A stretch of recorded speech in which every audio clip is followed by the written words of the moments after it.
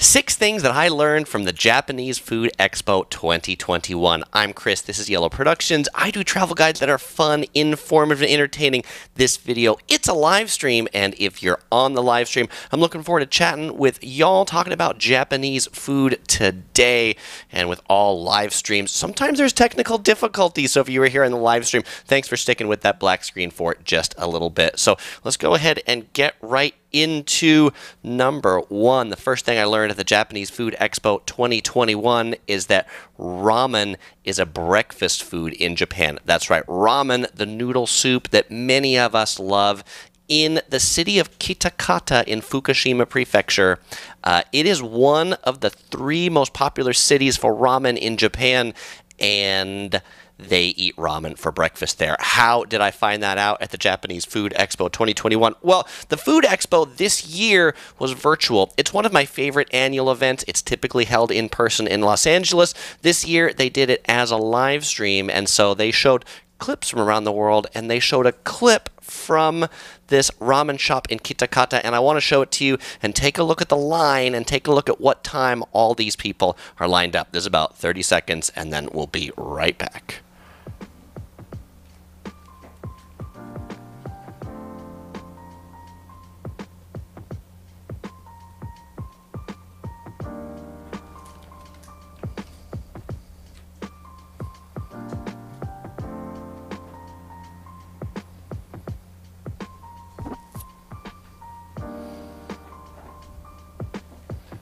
So that line, if you saw it, was there at 7:35 in the morning, and indeed they do eat ramen for breakfast in Kitakata. Now, OC Girl and I, we were pretty lucky to go to uh, Kitakata actually just last year before the pandemic. It's something I'm going to show you that clip in just a moment. We were at the Kitakata Ramen Festival sampling the ramen, and this ramen Ramen Fest, Food Fest, Japanese Food Fest this year because it was virtual and you couldn't sample the foods there, which you usually can do. They sent out snack boxes to 50 lucky winners.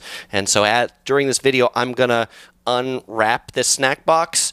It was wrapped a little bit nicer. I opened it to peek at what was in there because there's a couple things that we're going to make and eat during here. It comes in this uh, furoshiki cloth, which you can wrap uh, wine bottles on.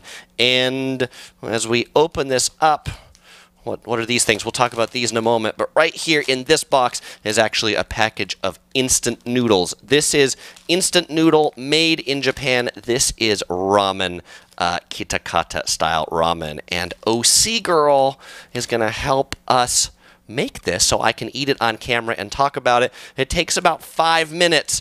Um, I'm going to open the package just so you can see what's in here, and then I'll give it to her. So in here, there are three packages of noodles. These noodles, they age for about two days is what they said. They dry for two days at the ramen festival, and then there are some sauce packets uh, that make the soup base. So OC girl, if you would be so kind, I'm going to give you a noodle and a sauce packet that she's going to grab so you can see there's a person there. Look at that, right? And I'm not just handing it to the either, and she's going to be back in five minutes with that ramen. And I don't need this in the snack box anymore.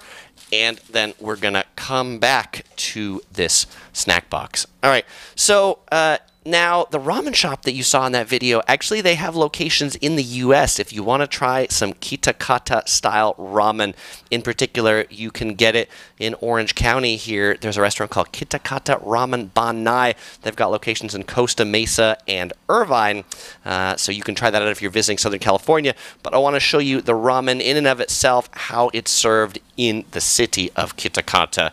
This was taken just about a year ago. When you come to Fukushima Prefecture, you need to have Kitakata ramen. It's a different style ramen than is popular in the rest of Japan. And today we are at the Kitakata Ramen Festival, and I'm here with Wakana-san. She is the organizer of this festival, and we have six different kinds of ramen in front of us. We have two from Kitakata, and we have two from other regions in Japan. And so I was going to ask, What's the difference between Kitakata ramen and other ramens? Because I think many people, particularly viewers from the US or other places, might have just had ramen, but don't realize that there's different specialties. So, can you tell us what the difference is? えー 札幌ラーメンは味噌ベースになります博多は豚骨がベースになります北方はお醤油がベースになります well, and I understand that Kitakata as a city has like the most ramen shops per capita. Like it's a small town, but lots of ramen shops, and they open for breakfast. Yeah. Are you from Kitakata? Do you live here? And do you eat ramen in the morning? Yes. Yes. All right. How many times do you eat ramen a week? Seven, Seven? times a week, every day. Yeah. This this is a ramen city, so I'm really looking forward to trying these different kinds of ramen and uh, seeing which one's the best. So, looking at the comments in the live stream, uh, BF Delano says, I'm already hungry because I haven't eaten all day. Other people are saying they're hungry to lean into. The English way says, Yummy for my tummy, Chris. Yummy indeed. And Soul says that OC Girl is going to take more than five minutes because she has to boil that water. We had planned this, and so there's already water in our tea kettle, nice and hot. Uh, and the uh, JFCA USA that actually puts on this food fest. Thanks for joining the live stream today. They love Kitakata ramen as well. So thanks for being here uh, in the chat. Um, Jesus says, I've eaten more than my share of ramen for breakfast. That's good, Jesus. Uh, yeah, and the only thing about, you know, the Kitakata ramen Ban Nai here in Orange County that I think makes them slightly less authentic, it's not the food. The ramen tastes, I think, just as good here as it does in Kitakata. They're not open for breakfast here, though. You can only get them for lunch. Uh, and Larry says, Chris, did you know that Japanese people like to eat raw egg with rice? You know what? In fact, I did know that. Uh, and because I've been to Japan a lot of things, but not everybody knew that. We're going to talk more about egg with rice a little bit later as well. Uh, also, kind of like a slightly, maybe not raw, super popular, also the onsen eggs that they boil in the um, hot spring water and put on rice as well is super popular. All right. Uh, now, a question that people always ask during these videos is, Chris, what are you drinking? And so let's go on to the next thing. We're going to talk about item number two, is we're going to talk about tea. I learned a lot about tea in the Japanese Food Expo 2021 uh, because they had a whole booth or virtual booth focused on tea. And by the way, in this little brochure uh, that came with the snack box, then they've got a whole bunch of things that talk about it. Actually, like this is a great. Uh, it was kind of neat to see the Japanese Food Expo do this because I've gotten other snack boxes from Japan, and I always earn a lot from these brochures. So the tea we're going to be talking about is from Shizuoka, Japan, uh, region near Mount Fuji. In the box, there are two types of tea. There's matcha tea and gyokuro tea, which got me thinking about all the different types of tea.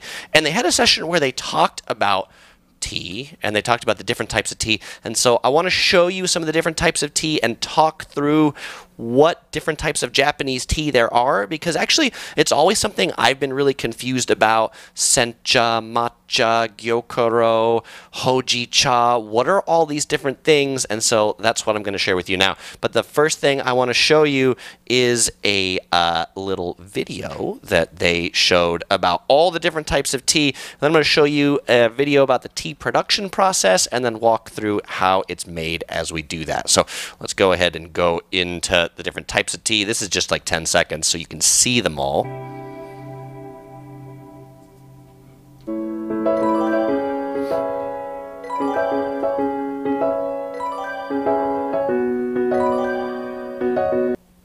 So you can see some of the teas were tea leaves and some of the teas were ground. Uh, and matcha that you hear all the time is actually ground tea leaves. So if you get a matcha tea, you're not just drinking tea water has passed through the leaves, but when you're drinking matcha tea, you're actually drinking the whole tea leaf that's been ground, turned into a powder, so you're drinking a bit more of the tea. So now taking a look at how the tea is actually made and manufactured. This is from a tea farm in Shizuoka Prefecture, Japan. And the most premium teas, the gyokuro teas and matcha teas, are shaded teas, meaning that for the last three weeks or so of their life, they're actually grown under shade. You can see these shade things overhead, um, and that's what actually brings out a lot of the flavor of a matcha tea. It brings out the umami. We're going to talk about umami in just a little bit, uh, but the idea is to slowly decrease the amount of sunlight and photosynthesis, uh, which also gives gyokuro and matcha the uh, more caffeine when that happens. Now I'm talking about those these two things as they're the same thing. Sort of the basic Japanese tea is called sencha. That's grown mostly under sunlight. Gyokuro, the highest quality tea, is shaded tea, and then matcha they process it differently. But something that also makes Japanese tea unique, and you see it in this video, is the steaming process. After they harvest the tea, generally within the first day, they steam it to kind of lock in the flavors and then they dry it out. And this is uh, in a factory in Shizuoka that produces the tea. In Japan, I love the kind of modern blend of high tech plus also low tech when we were in Fukushima, we toured a number of sake factories. We didn't tour any uh, tea production facilities, but the sake factories also looked like this as well. So now, when we talk about the matcha tea, uh, it's steamed for a little bit longer. It is then destemmed, so they take out the stems. It's just the top youngest parts of the tea, and then it's heated longer. It's heated in this furnace, and then after it's heated in the furnace, this is the part that really makes matcha tea after it's dried, is where they grind it to make the matcha powder. And ground matcha, um, when they do it by hand, takes a really long time, and that's why matcha can be pretty expensive. Matcha tea is a small amount of the total tea that's produced in Japan, but good matcha tea has a smooth flavor and it's frothy and is made by whisking, putting some water into that powder. Uh, now, we have the matcha tea here. I do not have a bamboo whisk here at home, but I do have this that I'm going to drink in a second. OC Girl is bringing the ramen back, so I'm going to move this back here. And OC Girl, just go ahead and set that ramen right here on this table. Thank you very much. And now here we have the bowl of uh, instant noodle ramen that was out of those packages. This would probably be better if I could angle the camera down a little bit. So we're going to give this a try. We're going to angle this down and we're going to move this so you don't see that. And then I'm going to put this bowl of ramen right here so you can see that just a little bit better. And I'll be eating those noodles in a second after I pick this up. And then we'll continue the conversation about tea after uh, I dive into those noodles because I'm sure you want to know how they taste. So this has a nice Mmm, almost a nice peanutty sesame smell to it. It smells pretty good. And I, I, said this earlier, but a lot of people, when they think of instant noodles, they think of low quality, cheap, salty. Japanese instant noodles are really quite tasty and can actually get pretty close to the real thing. I mean, it's not the same as eating in a ramen shop, but when we're in Japan, we often eat uh, like instant noodle that we pick up from 7 Eleven and things like that. So let's, uh, I'll try not to put too much of this microphone. Hmm. This is the ASMR section of the video. Well, I guess you can hear me slurping a little bit.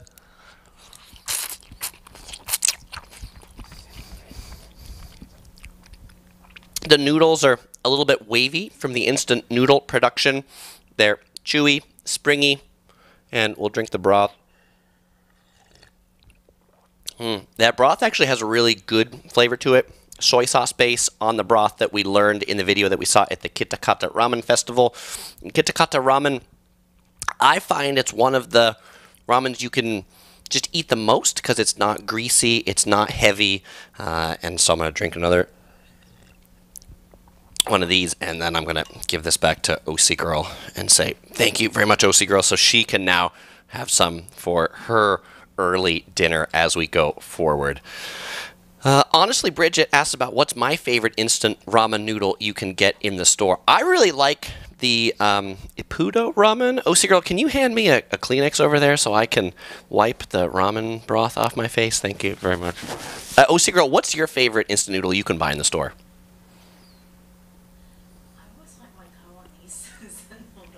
She likes Taiwanese instant noodle because she's from Taiwan originally. What's it called? Whaley dried noodle is her favorite. And she eats instant noodle probably weekly, at least, if not more often. It's like Tanya's favorite food. And so I would encourage you, if you've never had Japanese instant noodle before, definitely to check it out. If you go to any Japanese supermarket, you'll find them. Don't think that they're uh, cheap. Brown Polly can't take it anymore, says, I'm going to find food. And Gumera says, Thank God I'm eating while watching this. Thank God you are eating while watching this too. Uh, all right, so I wanted to go back to the teas now. Um, so in the box, we've got this Gyokuro tea, and this is a, a slightly different preparation of Gyokuro tea in that this, oh, I need something to open this with. This is uh, powdered Gyokuro tea, so that it's easy for me to make on the video here. I don't have to steep it and things like that. But because this tea is such a premium quality uh, less than 1% of all the teas in Japan made are Gyokuro teas. When you do steep this tea, you use very um, not warm water, like 104 degrees Fahrenheit. Uh, and because it's so flavorful, then you can actually use it multiple times to make the tea. It comes in a little package like this. This is again, this is the powdered version, which they recommend for making iced tea, uh, and it's also nice that you know some of the things that you saw in there about how they have the farms they've put in here. This would probably make a great thing for a gift for some people. And and then they also say why we make gyokuro powder. Um, and so in this case, much like matcha, where they do the whole tea, this is the whole tea of gyokuro. So they say you get more vitamins. That's what it says right there. I didn't learn that at the festival. I learned that as I opened this package. And so what they did at the Japanese Food Fest, and what they recommend in the brochure, is taking this powder into a bottle of water. I'm going to bring this table over here. And uh, open the bottle of water open this powder and then to just put this into a bottle of water. And then shake it up, and then we will have some iced Gyokuro tea that you could easily take this on the road. Now, what's, oh, I got some powder on my fingers. What is also interesting about Gyokuro tea is that the caffeine level is really high. So if you want to wake up, then this is absolutely the tea for you. I've heard people saying that there is more caffeine in a cup of Gyokuro tea than there is in a cup of coffee. So if you're a coffee snob, well, you might actually want to be a tea snob as a way to wake you up. So let's go ahead and now pour this into here. We get this nice dark green beverage. And let's go ahead and drink this. Hmm. It has a smooth flavor. It's not sharp. It's not bitter. It's one of the things I think a lot of people don't like about Japanese green teas for their first or second time or something they haven't had up much. They think it's sharp and bitter, but try some Gyokuro tea, and you will find it's actually quite smooth. And then you'll be awake too. Okay, some of the other types of tea that you're going to hear about in Japan that we don't have in this box because uh, we only had matcha and this. You're also going to hear about uh, hojicha tea. Hojicha tea is a roasted tea. And so uh, I mentioned they take the top portions of the tea for sencha, matcha, gyokuro. What do they do with the stems and the leaves on the bottom? Well, they use them to make hojicha or roasted tea. And if we look at uh, the video that we saw just a second ago,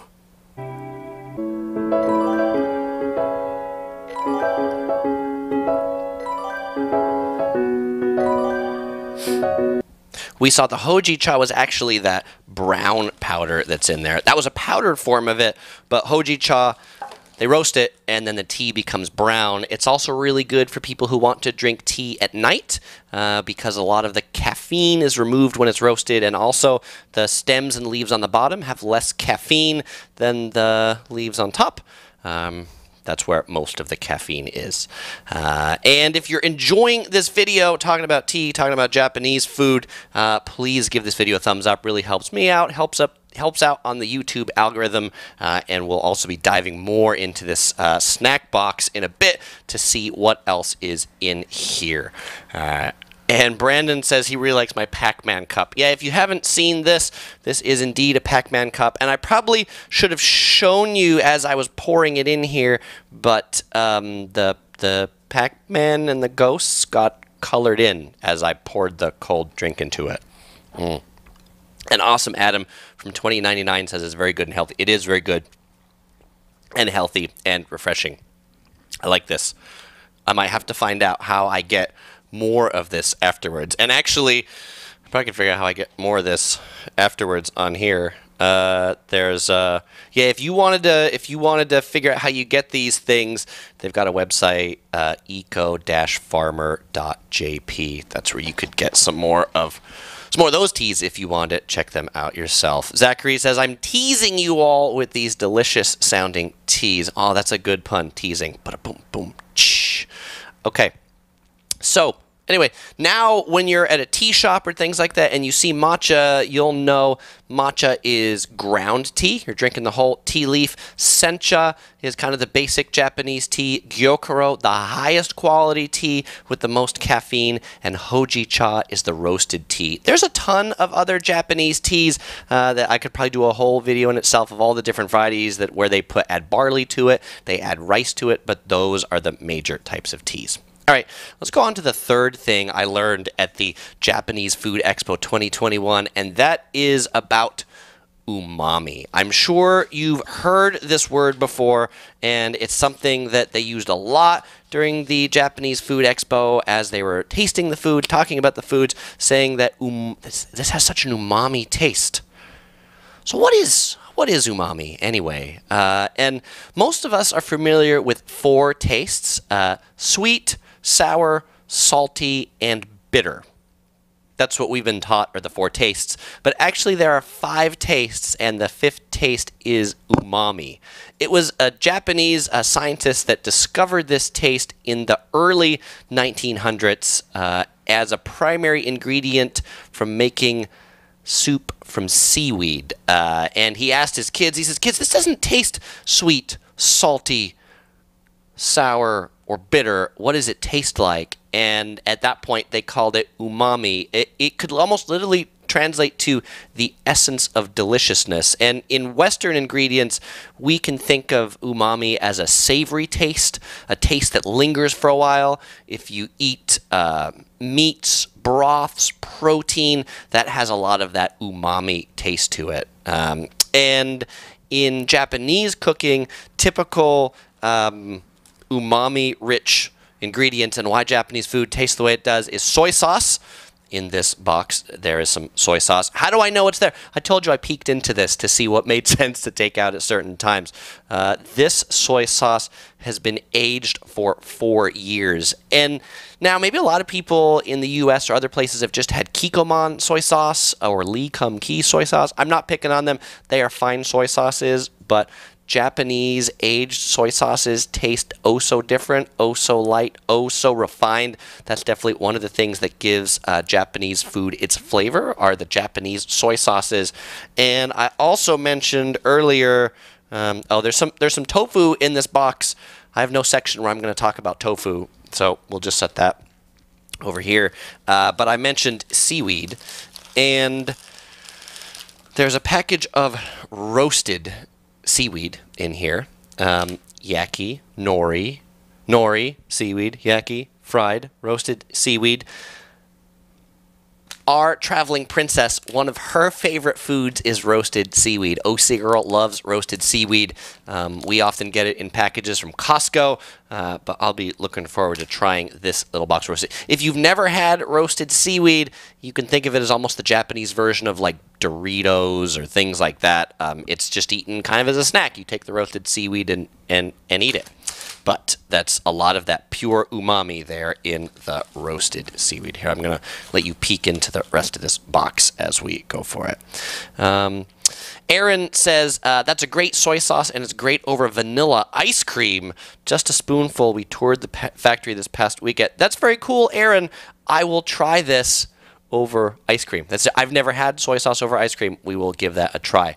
Um, now, we have had one of the other things in here over ice cream, but we're going to get to that in a second. And Richard says tofu, tofu. That's a good word. Tofu, tofu. Maybe we should put one of the one of the pandas a little closer to this tofu. Why don't you why don't you come down and hang out there by the tofu? All right, good, good, good. Uh, and Aaron says that those soy sauces were made in huge wooden barrels that can hold 6,000 liters of soy sauce. I believe it. Um, I'm going to show you some of those big barrels, not for making soy sauce, but for making miso in just a second. And Zachary asked if Bill Murray was at the festival promoting Suntory whiskey. He should have been. You know, for relaxing times, make it Suntory time. It's one of my favorite quotes uh, from the movie Lost in Translation. If you like anything about Japan and you've not seen the movie, um, you should definitely check it out. Uh, Hyunwoo asks, is spicy considered one of the tastes? Why or why not? It's not. And I don't know why, because I am not a scientist. Natalie says Vegemite has an umami taste. Natalie, you must be from down under. And uh, Richard asks if umami is like unagi, uh, which is eel. Yeah, I guess eel could probably have a umami taste to it. Jake says that soy sauce over ice cream sounds awful. Well, Jake, I am going to put this soy sauce over ice cream and I'll let you know how it tastes. I don't know. OC Girl, do we have any vanilla ice cream? We don't have any vanilla ice cream, do we? Yes, we can't do it in this one. We'll do it in a upcoming upcoming stream. And I will let you know whether it is good or awful or not. All right.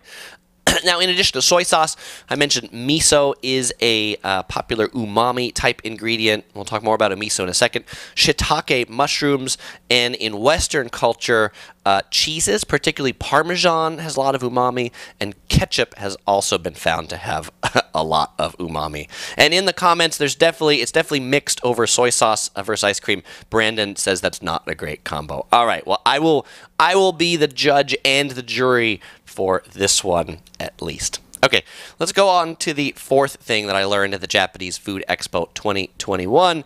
And the fourth thing that I learned is about uh, yuzu. So we talked about teas, and there's this Japanese citrus fruit called yuzu, and they put yuzu in a lot of things. Uh, but I want to share with you what the uh, lady who was working the Shizuoka booth had to say about yuzu and tea. So yuzu is a type of citrus uh, we have in Japan, and actually winter is the season of yuzu. So we have oh. a lot of yuzu, and we make a lot of uh, Japanese food yeah. using yuzu, especially the peel. So yuzu is a taste that you'll taste a lot in Japan. It's a scent that you'll smell a lot. They use it in a lot of like humidifiers. They use it in a lot of hotels. And so now if you're wondering, what is a yuzu anyway? Uh, here's a picture of various citrus fruits. The yuzu is the yellow one in the middle. On the left, we have a grapefruit. Next to that, we have an orange. Then we have a yuzu. Then we have a lemon. And then we have a lime. Yuzu is a tart uh, and oh, that was not the not the button I was looking for. Yuzu is tart and fragrant, uh, and kind of taste wise is maybe between a grapefruit and a mandarin orange. Uh, and they use it in Japanese cooking much the way uh, in Western cooking, we would use uh, like lemons, where they mostly use the juice and the peel. Uh, and so that was something that they actually put in the tea. Um, Hyun Woo says yuzu is the best citrus. I agree. I really like yuzu. It's something I only discovered when I went to Japan. You you find them rarely in the states, and actually, I found out that the the um, Food and Drug Administration in the U.S. has banned the import of yuzu from anywhere. You can't like import like the fresh yuzu fruit, so you don't find it uh, as much here. But definitely check out things uh, that are yuzu tasting or flavored. Uh, they will also put yuzu into alcoholic drinks. You'll find a lot of cocktails that are yuzu flavored, popular sweets like cake, and yes, they, they actually even use yuzu to flavor Doritos. There's a Doritos uh, yuzu flavored flavor. Michael asks, What are uh, our travel goals for this year? Uh, the next trip first trip we have booked is to go to Hawaii in this summer. Uh, we also want to go to Taiwan. We'd love to go back to Japan if they reopen again. It's really hard to make any concrete goals this year um, because who knows when places open and who knows when places are cold. So we're just we're taking it one step at a time. Hawaii is the is the next thing. Brandon uh, says it makes me want to garnish a drink with some yuzu and uh, lean into the English life uh, wants wants OC Girl to say hi on the chat. Uh, so OC, OC Girl's been requested, so she's she's gonna say hi to y'all in the chat. Um, okay, the fifth thing that uh, I learned from the Japanese Food Expo 2021 is about miso. Uh, so there are a few different types of miso. Miso, it's a traditional Japanese ingredient, unlike soy sauce that's soybeans in a sauce. Miso is fermented soybeans that have been turned into a paste. And there's a few different types. Uh, typically, if you have like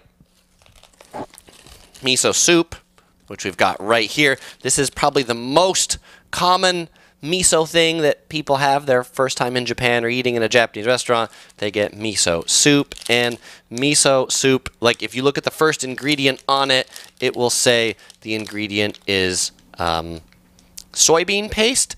And then it says the particular soybean paste that they use has soybean, rice, and salt. So rice miso is one of the types of miso paste. Uh, the second type of miso paste that's popular is barley miso, where in addition to the fermented soybeans, the salt, and the water, they also add barley to it. Um, it's uh, a, a, darker color because of the barley.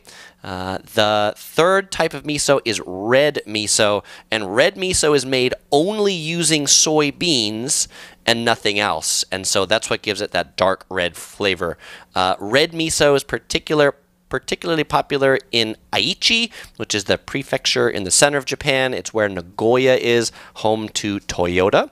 Um, and then there's a, another type of miso there. Let's see. Okay, there's there's more miso soup that I've got in the snack box. There's more miso there.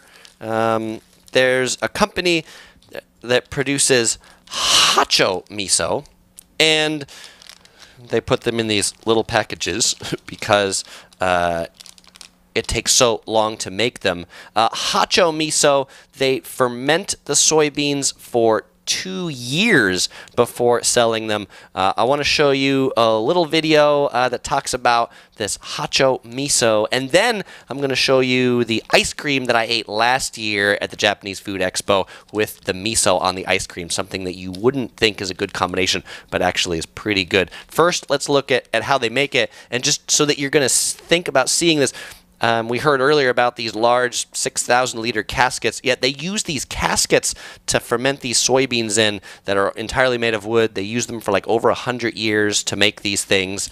Um, and by the way, this promo video, the the announcer has like the best voice ever. I I hope to develop my voice into a into a voice like this. Aichi Prefecture, in the heart of Japan, offers Japan's most unique food culture. Miso is the soul food of Aichi. Aichi's traditional miso is made from soybeans, natural salt and water, and matured in huge wooden tubs sealed with three tons of hand-laid stones.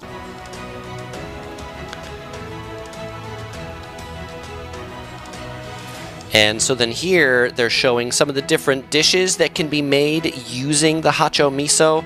Instead of selling it as a, a paste when they export it like this, they export it as a powder, so it doesn't have to be refrigerated, um, which makes it easy to, uh, you know, carry around with you or just uh, keep on a shelf. Uh, but you know, they're like, hey, it's good on tacos, it's good on pasta, but in particular on ice cream. One of the most interesting ice creams here, though, is this ice cream. Soft serve ice cream with hacho miso on it. It's kind of a sweet and savory combination.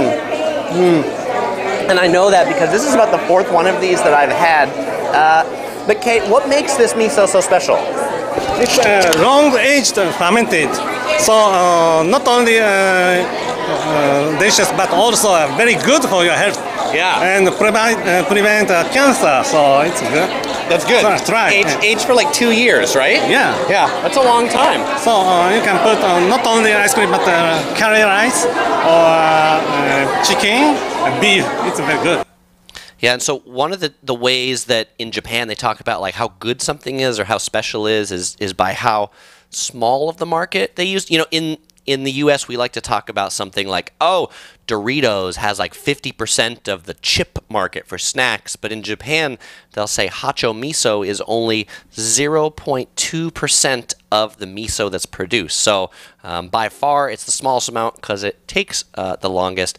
And by the way, wasn't wasn't that guy's voice just amazing? Now, if you do go to Japan and you go to Nagoya, they eat miso on like everything. Uh, but in particular, uh, they eat the red miso on everything. They re- they eat this red miso from Aichi Prefecture, uh, and so they'll have like a katsudon, which is uh, fried breaded pork cutlet on a rice bowl, and then it's the red miso. If you get like um, you know the miso soup or miso ramen, it'll typically be that red miso in Nagoya. So that's a specialty to check out if you visit there. Uh, all right, and uh, let's go on to. Number six, the sixth thing that I learned at the Japanese Food Expo. Somebody mentioned this earlier about eating raw egg, but this is, uh, I learned what the phrase oyakodon means. And it's a dish that I've ordered in Japan a number of times and I just I just never knew what it meant. I just I just always ordered it. At the Japanese Food Expo, they had some cooking demonstrations, uh, and so I want to show you what they said about what oyakodon means. It's kind of an, an interesting term for a food item. And I have uh, mother side in the chicken. Yes. So for those of you that um, oyako means mother and daughter, he was saying, and so of course you have here the mother, which is chicken, and then the baby, which is the egg, and that's why it's called oyako ramen. Hi. Oyako is very popular. Yeah. But we do this one with oyako ramen Yes. and kitakata ramen, the Fukushima style. So the literal translation there is like the parent and child rice bowl, oyakodon, and then the parent and child is chicken and the egg. Sort of it makes me feel sort of sad now that I'm going to eat that that it's the, you know, I'm I'm eating the parent's child. I wonder I wonder if you can order the special one that's like the egg from the chicken that you ate there.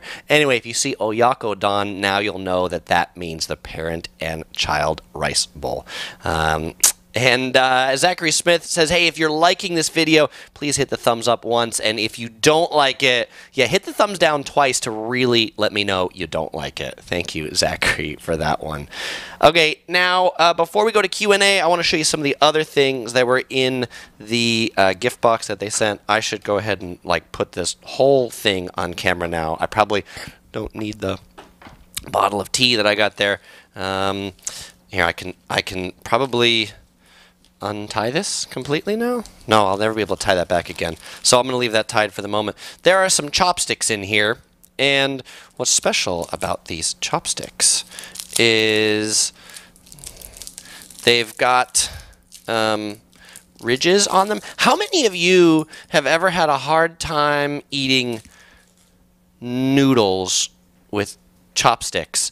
Uh, these chopsticks have special ridges for eating noodles. So, you know, you don't always get this in every restaurant, but if, you know, you're going someplace and you don't want to be that person that comes with a fork, then uh, you can bring your chop. These are called tornado chopsticks, is what they call these chopsticks. That's kind of cool.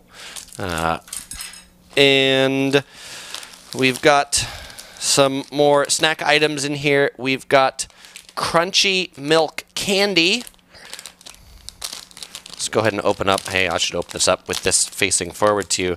Let's go ahead and open this up. Uh, the crunchy milk candy, and then there's little. There's a whole bunch of like little packages in here of the pico candy, and it's a little white thing that looks like this. And mmm, it felt like. Oh, can you hear me chewing it? It's got a hard outside and a soft inside, and it tastes like like cereal milk. Like after you've had milk in like Cap'n Crunch or Froot Loops for a long time. That's what it tastes like. And there's a second one here too. Um, and then we've got this from Bentenya. There are these bands that they use to advertise things in Japan. And this is uh this? It says in here what this is. This is a hand towel in Japan in public restrooms. They generally do not have paper towels or towels because they expect you to bring your own towel with you. Japanese children from an early age are basically taught not to go anywhere without a towel. So now I've got a neat, here let's open this up. Now this is a neat hand towel to take with me that probably looks a little cooler than the uh, the hotel towels that I might take. Uh, it's kind of cool. It almost looks like one of those like art pieces you could hang up on the wall. I almost almost hate to use it as a towel. It's so uh, pretty. And we're down to the final couple things in here. We got, you know, people said there's everything in here. There's uh, some microwavable rice in here. By the way, if you're ever a pinch for rice, this is sold in tons of Japanese convenience stores. If you want some rice to go with things, you'll just get the fresh cooked rice like this, toss it in the microwave, and then you've got rice. That's the problem with rice, it always takes too long to eat.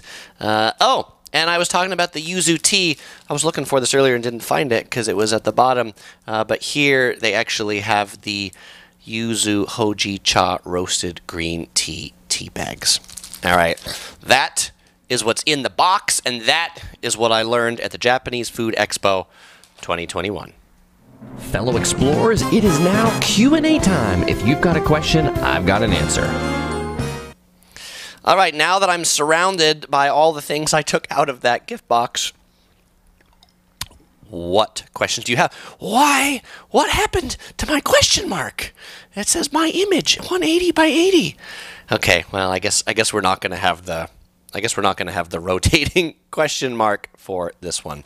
I'll have to figure out where my question mark went and bring it back because it's it's so much cooler when the questions rotate. Hyunwoo says candies in Asia are so much better. There is a big variety of candies in Asia, and they're not as probably sweet as American candies. American candies are probably just like sugar, sugar, sugar.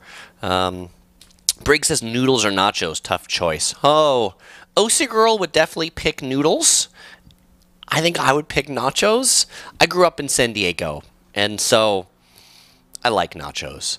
Uh, lean into the English way of life asked, How much did it cost to attend this expo?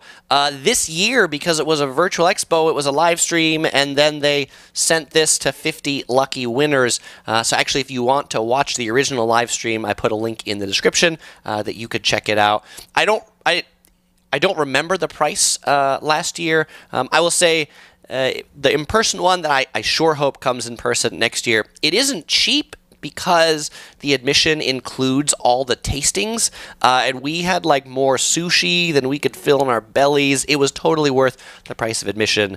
Uh, and when one does come back for next year, I'll let you all know in case you're in the LA area, you could visit and, and you could say hi because uh, we'll, we'll probably be there next year assuming we, we can do that again, right? Uh, Jeremy asks if I like martial arts. Have you been to a martial arts gym in Japan? I have never been to a martial arts gym. I like the concept of martial arts, but I've I've never done martial arts. Uh, Liz A wanted to voice in. She's going to vote not for nachos, but she's going to vote for noodles. Thank you for that. Uh, Richard asked if in the box there were any chocolate chalk sticks. I guess these were These were these are chocolate in color, but not chocolate in taste. Like Pocky is almost like a chocolate chopstick. Um, and uh, Kathy asks, "What came first, the chicken or the egg?" That that is the ultimate question. Um, Larry asks if I like the sushi in Japan. I love the sushi in Japan. Actually, before I started traveling to Japan, I did not like sushi because all the sushi I ever had was cheap sushi that wasn't very good. Uh, you know, supermarket sushi that's been sitting in the refrigerated case for all day. Just it, it just isn't good. The fish isn't good. The rice isn't good. Uh, we then visited um, a fish market in Japan where we had a, a chirashi bowl, a bowl of just like fresh tuna, salmon. Like you know, it was right off the boat this morning, and I was like, ah, this raw fish stuff is actually pretty good. OC Girl used to make fun of me in the first few sushi restaurants we went to before we went there, before I fell in love with it. We went to this fancy sushi restaurant in Otaru, Japan, which is uh, outside of Sapporo in Hokkaido in the north. And I, I wanted to order the uh, the fried chicken. And OC Girl's like, you can't. We're at a sushi restaurant. You can't order the fried chicken. I'm like, I want I want the fried chicken. I, I should order the fried chicken. Luckily, she she got the best of me and you know got me to not order the fried chicken, which was a good choice in the end. Though I do like Japanese fried chicken. It is uh, pretty good. Hyunwoo says, if there's one Japanese food item that you can get to eat for the rest of your life, which one would you pick? Hmm. Um, I don't know if it's a food item or if it's uh like a restaurant in particular. I I really like Pepper Lunch. Um, Pepper Lunch does this uh, like sizzling plate rice with beef with soy sauce and like a garlic sauce on it. Um, Pepper Lunch is probably my singular favorite thing to eat in Japan. Uh, you know, price, value, all those things combined. If if I like, if it wasn't price, then I would definitely pick like the Japanese, you know, A5 Wagyu beef. They're like super marbly, super amazing beef. American beef is supposed to be like renowned as being amazing, and so is Australian beef. But oh, Japanese high quality beef, it just it melts in your mouth and it's amazing. And I didn't I didn't believe it until I, I really had it. And you know, in Osaka and Kyoto, we went to some like Kobe beef restaurants, but those those aren't even the same thing. I mean, you go to these places where you get like five bites of beef, and it's out, it's out of this world. Uh, Booba asks, uh, upon my travels through Tokyo, have you gotten to experience karaoke there? I have experienced karaoke in a number of places, uh, including in Japanese karaoke parlors. Um, you know, the big difference between Western karaoke and Japanese karaoke, or, or maybe Western and, and Asian karaoke, right? Western karaoke, American karaoke is um, a bar or some place with a stage where one person sings karaoke to like the whole place. In Japan, you rent little karaoke rooms for you and your four, five, ten closest friends to be in that room. You can get drinks, you can get food. Um, I'm not I'm not much of a singer, so you know if I do karaoke, uh, I want to karaoke to like Weird Al Yankovic or or Snoop Dogg because then you can't blame me for being out of tune. Um, Brandon says I'm not much of a tea person. What kind of Japanese style should you recommend to me? I I recommend I recommend what I was drinking here, which is the Gyokuro tea. It's pretty tasty. I don't know where the box went. Um, the other thing I would recommend for you, because it's like less less tea-ish, is uh, matcha latte. Um, if you get the matcha powder that's in milk, then it actually like you're drinking tea, but you would you would never know you're drinking tea if you're having a matcha latte. And I, I think that some people have a hard time getting over the green color because I don't know. There's there's like some association to green color being like kale or spinach, which are things that I don't love all that much. And you might look at that and be like, "Oh, Chris is drinking a kale thing," and it's like it's like it's not. It's a it's a whole taste of its own. Uh, MT asks, "Which sake do I recommend?" I I don't know that we have a favorite sake. OC girl, do you have a favorite sake? No, I like those Nigori ones. Nigori. Yeah. So The cloudy sake, right? Yeah, we we like the cloudy sakes and the um, like the fruity sakes. You know, things that kind of have a light taste and aren't too um, sharp or too alcoholic. Now, the other thing about drinking sake is the vessel that you drink it out of matters a lot, whether it's a glass or an open porcelain container. I really like to drink my sake out of kind of, they almost look more like plates uh, because it kind of lets the sake breathe a little bit more. Um, Kathy. Uh, Kathy's recommendation is chai latte. You know, the thing about chai latte, like in Indian tea from India, um, is I never had a good chai latte until we went to London. Uh, we were in London uh, at an Indian restaurant there, um, and we had the chai latte, and I was like, this is really good because every time I've had it at like Starbucks or things like that, I'm like, meh, I could pass on it. Saul uh, says that my drink is, is wheatgrass. I assure you, it has no taste of grass at all. Um, and Larry asks if I've tried the green Kit Kats in Japan. I have tried the green Kit Kats in Japan. I think I like the regular. I think I like the regular chocolatey Kit Kats the best. I don't know. It's just kind of a perfect uh, taste to go with it. Um, Liz asks if I've had uh, Calpis. I love it. I have had Calpis, and uh, this is an interesting one of these um, renaming things. In the U.S., if you buy it, it's called Calpico because they decided uh, that if it was called Calpis, that people would think of something else. So eh, that's how it's named in Japan. It's called Calpico in the U.S. It's kind of like a Japanese particular soda. Uh, I like the teas more than I like Calpis, but Calpis is uh, good too. Uh, Esther wants to know if this is a custom white red keyboard behind me. This keyboard um, is from a company in Taiwan, and I got this keyboard because I just have a small space back here for that particular computer, and so I wanted something that I could slide right underneath it. So it's missing um, the number pad, and it's missing the keys up on top. It also has a whole bunch of different colors and things like that. Uh, the the brand of this keyboard is called Ducky, and it can do a lot of different um, colors and lighting effects. The colors right now are purple. That's where you get to see that. I had it on blue, but then our, our traveling princess came out here and was just like banging on the keyboard, and she figured out all the secret keystrokes to change the lights from blue to purple, and so I decided that uh, that that was just the color that it was destined to be. Uh, Richard asked about the fish market that we went to if it was underwater so the fish can breathe. You know, there were probably some stands that actually had live fish. Yeah, but most of them most of them were just on ice at that point. Uh, Natalie asked if I eat sushi in the U.S. now. Yes, I eat sushi in the U.S. We eat sushi in the U.S. Um, but I would say, you know, there's a difference between like American sushi, like Philadelphia rolls that have cream cheese or things like that, are not are definitely not sushi. Uh, but we like we like traditional sushi, sort of like omakase style. You know, the, the place where you go to and um, you just sit down at the bar and they, they give you what's great today. That's that's some of our favorite things.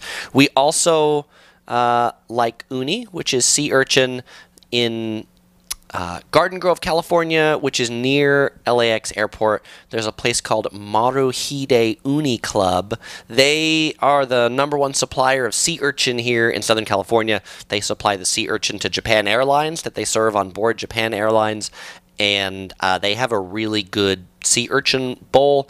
Uh, and actually, the sea urchin off the coast of California, particularly from Santa Barbara, is kind of world renowned as some of the sweetest sea urchin anywhere. There you go. Um, does Topher have a Japanese name? Ah, we've not given Topher a Japanese name. We probably should. Um, but uh, he doesn't have one yet. Uh, Esther wants to know about what switches I have on this keyboard. I believe they're they're blues. They're the they're really short travel, so they don't have to go down all that far. Um, that's what it is. Uh, Natalie says uh, she had some great sushi in Laguna Beach. I'm curious, what was the sushi place you went to in Laguna Beach? Because we're there pretty often, so we might check that out. Sean wants to know what's the best onsen we've been to.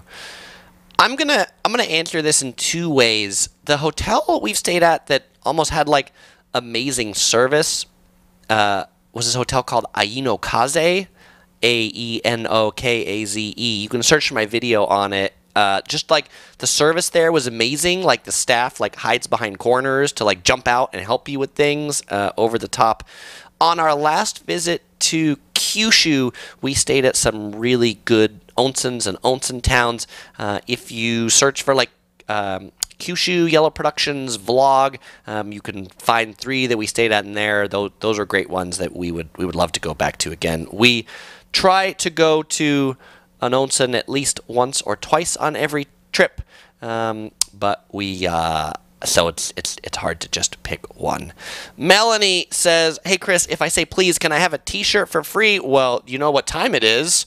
Yes, it's the time you've been waiting for. It's time for the giveaway. Melanie, it's time for the giveaway. If you answer this question correctly, you will win a Yellow Productions Crew shirt shipped to you anywhere in the world. And this soy sauce that I showed earlier from Japan, my question is, how long was this soy sauce aged? If you give the correct answer of how long this soy sauce was aged, then I will send you a Yellow Productions Crew shirt. If you don't get to win one, you can pick one up from the Yellow Productions Etsy shop. You will find a link in the description to that. Uh, last question from Esther while we're waiting for those answers to come in says, I can't seem to eat sushi in New York City after eating it in Japan. Do you sense the difference as well? Esther, for sure. Uh, and that's why we're actually pretty picky on the sushi that we eat. And sometimes my friends will be like, hey, Chris, uh, do you want to go get sushi? And they'll name a place, and I'll be like, no, because the sushi at that place is really bad. I, I only want to go get sushi at a place that's actually really good. And and they're they aren't that many, right? You have to be picky. And we've even went to some really like high end sushi places in Los Angeles. Like, you know, they cost they cost some serious bucks to eat there, and we're like, this this just wasn't that good. Our, you know, one of our favorite places to eat sushi is in uh, Orange, California. It's a sushi restaurant that's there, and this place is like so Japanesely authentic. Japanesely authentic. Can I say that as a word? That they uh, they take reservations, but they only answer their phone for 15 minutes a day. So if you want to make a reservation, you have to call them between 5 and 5:15. That's it. That's the only time they answer their phone. You have to call them between 5 and 5:15. They have one phone line. They answer the phone for those 15 minutes, and then after that, they open the restaurant. Uh, but if you make a restaurant, it's great. It's like $80 for the omakase, super high-end seafood, uh, and we love it. And now we have a winner, winner chicken dinner. And it didn't just so happen that Esther's comment was up on the screen that I then flipped over to her next one. She was the first person to give this answer, which that this soy sauce has been aged for four years. Esther, congratulations. Uh, you can send me an email to chris at yellow-productions.com. You'll find a link in the description to that, or message me on Facebook. You'll also find a link to my Facebook page in the description. Let me know what size shirt you want and where you want me to send it to, and I will get it out right out to y'all. Well, as usual. I won't say goodbye I'll see you in the next video, but it's been super great to hang out with y'all today. I hope you enjoyed hearing about the Japanese Food Expo. I hope you enjoyed seeing what what what was in the gift box. Uh, and if you want to see the whole uh, two-hour Japanese Food Expo, you'll find the link to the original one in the description. Uh, and I hope to see you in person there for the next one once we can all do that again.